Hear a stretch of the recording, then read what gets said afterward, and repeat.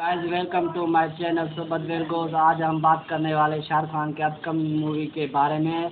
आज बहुत बड़ी खुशखबरी है कि इसका ट्रेलर आने वाला है और कुछ घंटों में आने वाला है। जिधर देखो जिधर देखो तबाही मची हुई है इधर उधर तबाही हाईवे जो बहुत बढ़ गई है इसकी। अभी आज इसका ट्रेलर कुछ घंटों में आने वाला है, इसके बाद आपको ट्रेलर देख कर आपको बताएँगे उसका रिव्यू मगर तबाही है भाई तबाही जिधर देखोगे तबाही इसकी हाथ इतनी बढ़ चुकी है कि पूछो मत, इधर उधर तबाही मच रही है अभी इसका जो हाइप है, बहुत बढ़ गया है। और इसके मूवीज़ आ रही है सात सितंबर को 2030 को।